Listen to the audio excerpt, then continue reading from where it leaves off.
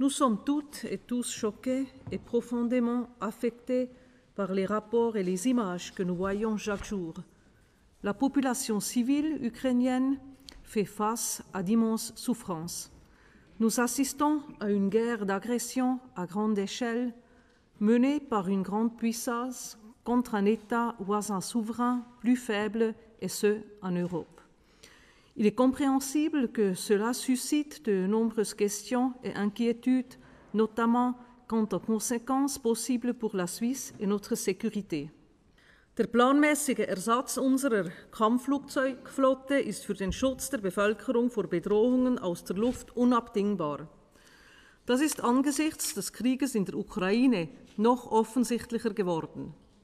Verzögerungen bei diesem für unsere Sicherheit so wichtigen Projekt sind unverantwortlich. Die Schweiz befindet sich hier in guter Gesellschaft.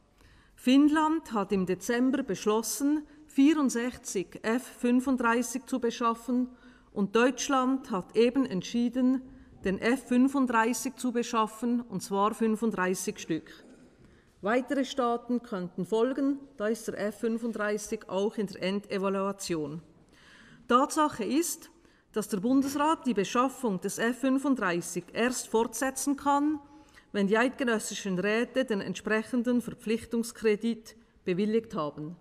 Für die europäische Sicherheitsordnung ist dieser Krieg eine Zäsur.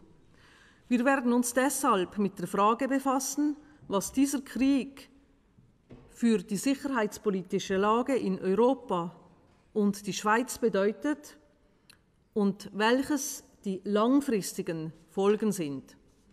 Der Krieg in der Ukraine wird uns noch lange beschäftigen. Was aber jetzt schon klar ist, wir müssen die geplante Modernisierung und Erneuerung der benötigten Fähigkeiten der Armee mit aller Entschlossenheit vorantreiben. Das ist heute noch dringlicher als vorher.